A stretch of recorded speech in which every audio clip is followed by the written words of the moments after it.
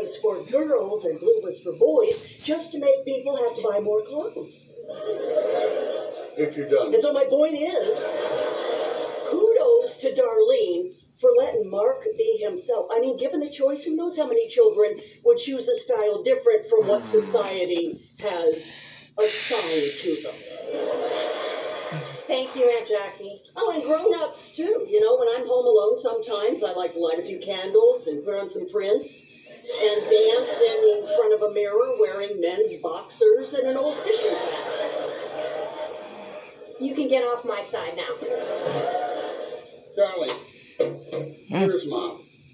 It's okay if you think it's fine that he plays dress up around the house, but if you care about his safety, you'll make him wear pants to school. Oh, so you're saying when he's out of the house, he's got to pretend to be someone he's not? Yes. if I didn't do that, we'd never be able to cash a check anywhere. You know what? I'm hmm. sorry. I- I'm not going to raise him that way. And by the way, you didn't have any problem when I wore basketball shorts and a Bulls jersey to school every day. Darling, God did not give me this big a head to hold a narrow mind. I'm totally cool with girls who like basketball, boys who like sewing, but you're dreaming if you think he isn't in for a world of hurt. Yeah, and we're totally not bigoted because we already came to terms with the fact that you were gay. I'm not gay. You know, gay people throughout history. We're not talking about gay. The kid is nine years old. He's too young to like girls or boys yet. And frankly, wherever this lands with Mark, I'm fine with And it. so am I. I'm totally fine with gay. My daughter's gay. Not gay. You think I'm smart, don't you? Yeah? Yeah. What's for breakfast? You got a cargo load. I'm feeling today's going to be more of a marathon than a sprint. Come on, Mom, I don't want to be late. Oh, I'm gonna start walking. No, you have to drive me. You've got to be there to send This is Roseanne Season 10, the new one they made back in two thousand and seventeen, eighteen. 19, Yeah, something like that.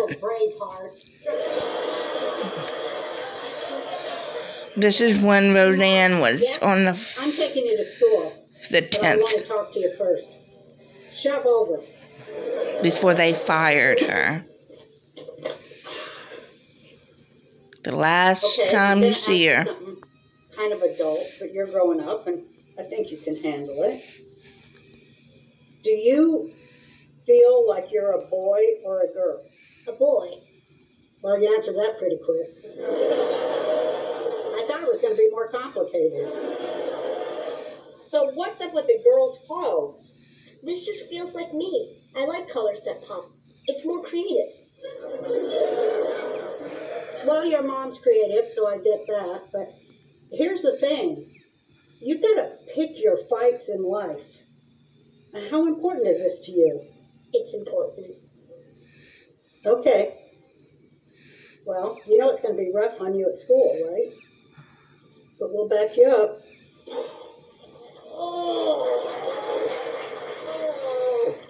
Kind of scary talking to your old granny, huh? I'm not afraid of you. Give it time.